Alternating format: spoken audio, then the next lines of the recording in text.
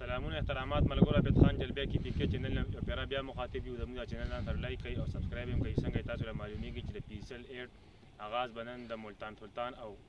لاهور کلندر درمن د کیږي دا میچ په پاکستانی وخت مطابق اته بجې شروع کیږي او ټینګ سرمنی بدتنه کیږي او په کې برنګارنګ تقریبونه کیږي قسمه قسم خلک پر دي ان شاء الله ډېر خوند وکړي او بل خو که تاسو ګوري لاهور کلندر به ریپلیسمنټ کې د خوشحال منډس چې کوم د سریلانکا سره تعلق ساتلو یو بهترین کلاړو یو ښه کلاړو د هغه په ځای هغه به ځي او د هغه په ځای شاهي خوب د ویسټ انډیز نه تعلق ساتي دا هم یو ښه کلاړی دی خو د ټي ټوینټي کلاړی نه دی د او ډي آی کلاړی دی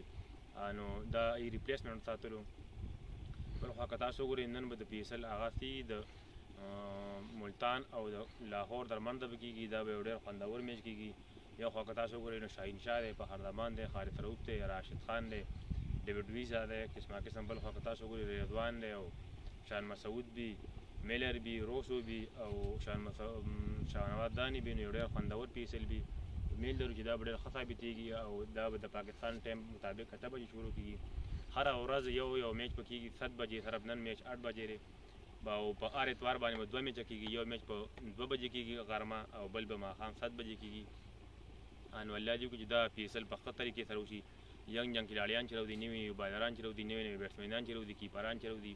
او زموږ ټیم له د اګریسیو کلاړیانو ضرورت دی د ډیفینس یو نه د شان مسعود دی او د رضوان دی ضرورت موږ نشته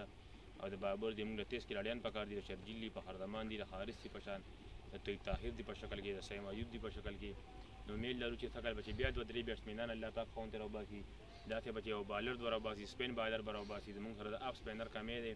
د تید اجمل نه بعد موږ سره اپ سپینر نه راغلی او دغه لیک سپینران نه دي نو امید لرو چې دا د الله بچي الله پاک خو کسان نه وباسي